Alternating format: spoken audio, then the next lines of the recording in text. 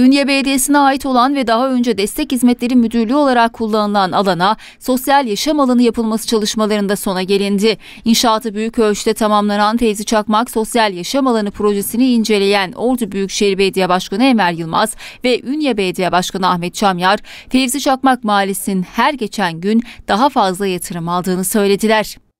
İncelemeler sırasında Fevzi Çakmak Mahallesi Muhtarı Hasan Çalışkan, Büyükşehir Belediye Başkanı Enver Yılmaz ve Ünye Belediye Başkanı Ahmet Çamyar'a teşekkür etti.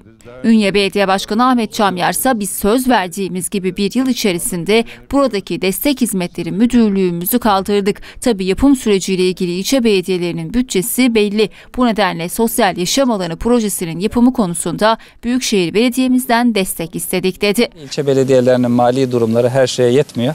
Orada Sayın Büyükşehir Belediye Başkanımız devreye girdiler. Kendilerine ben çok teşekkür ediyorum. Güzel bir eser ortaya e, çıkıyor. Birlikte açmayı e, da Cenab-ı Mevla e, hepimize nasip etsin.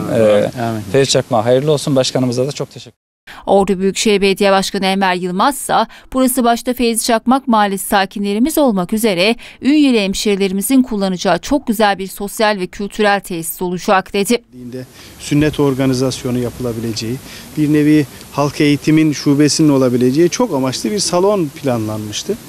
Ee, Ahmet Başkan bu alanın değerlenmesi ve toparlanmasında yani fiziki şartların oluşmasına ciddi katkı verdi.